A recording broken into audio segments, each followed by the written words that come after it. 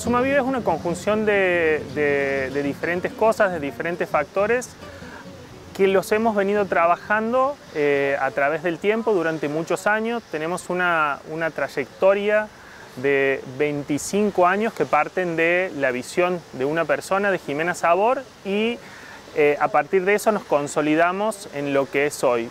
Esta empresa está basada o se, eh, constituye a través de pilares que son los que hoy nos forman o nos dan sustento y a partir de los cuales podemos trabajar en nuestra estrategia de acercarnos hacia el productor.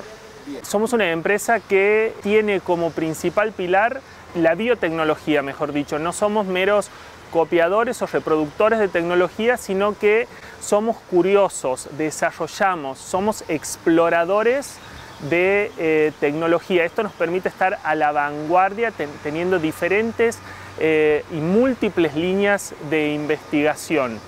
Y por supuesto nuestro compromiso con la constante con la sostenibilidad es algo para lo que trabajamos día a día. Nuestros productos están basados en, eh, en biofábricas, ¿no? en fábricas biológicas que hacen que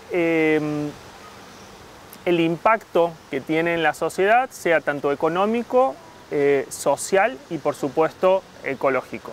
Nuestra visión es que cada productor incorpore tecnología biológica a su producción para complementar y para potenciar la tecnología tradicional o la tecnología que ya, eh, que ya utiliza.